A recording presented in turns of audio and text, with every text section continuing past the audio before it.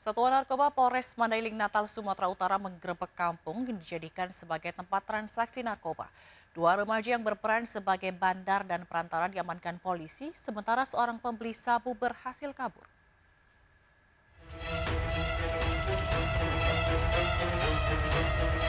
Satuan Narkoba Polres Mandailing Natal Sumatera Utara menggerebek kampung Banjar Vietnam di Panyabungan.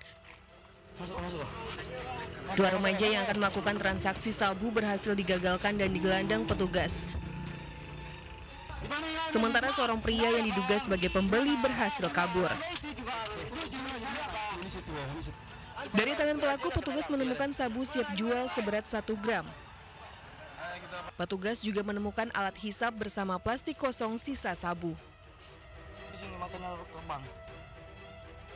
Tersangka yang kami amankan dua orang, satu termasuk pengedar dan bandarnya, dia juga uh, membeli dan mengketeng barang tersebut dan menjualnya kepada uh, pengguna.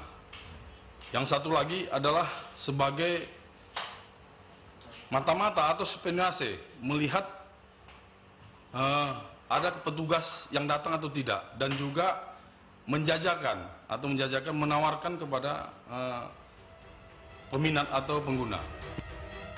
Untuk pengembangan lebih lanjut, polisi masih memeriksa kedua remaja di kantor Sat Narkoba Polres Mandailing Natal.